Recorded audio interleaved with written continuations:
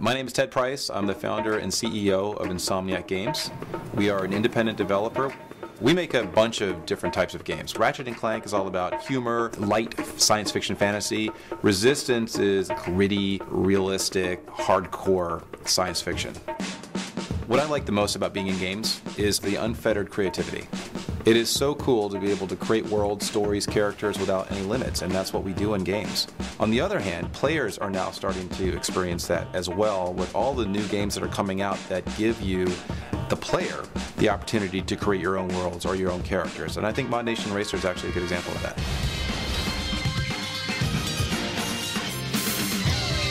One of the really fun aspects of this game is building your own character, and I could do this all day long.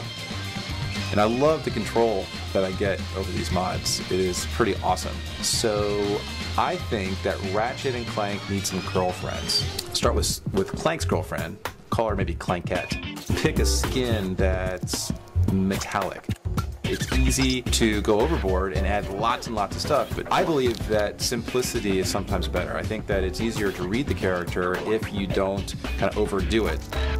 What's nice about ModNation Racer's character customization is it gives you this additional prop list that you can use. And bolts, to me, are exactly what you need for a robot. So I'm going to start adding bolts as kind of a little hairband.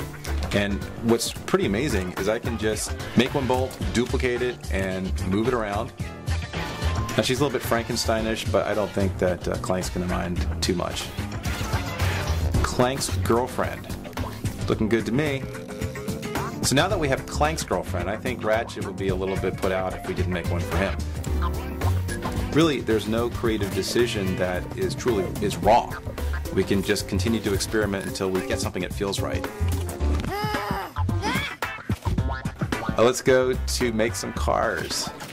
I'm a big science fiction buff, so most of my inspiration comes from great science fiction writers or science fiction movies. So need to pick something that is appropriately space agey. What's really cool here is I can use this color palette, or if I want to get very specific, I can use the color wheel, which is pretty easy to use. I love the fact that I can just put a toilet. That's just goofy.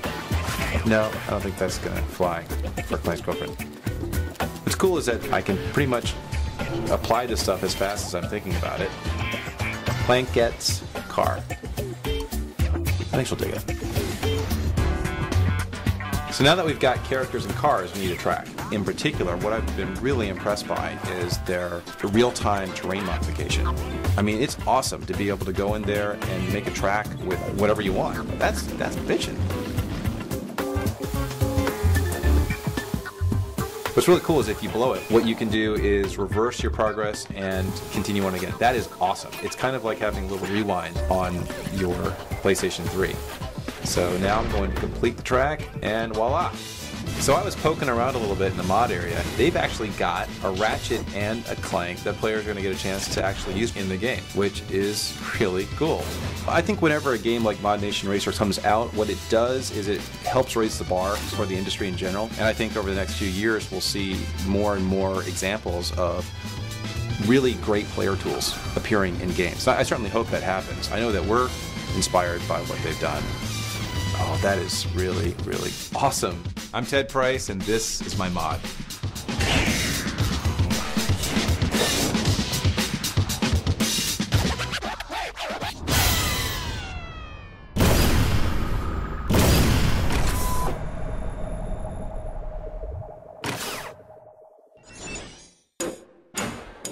PlayStation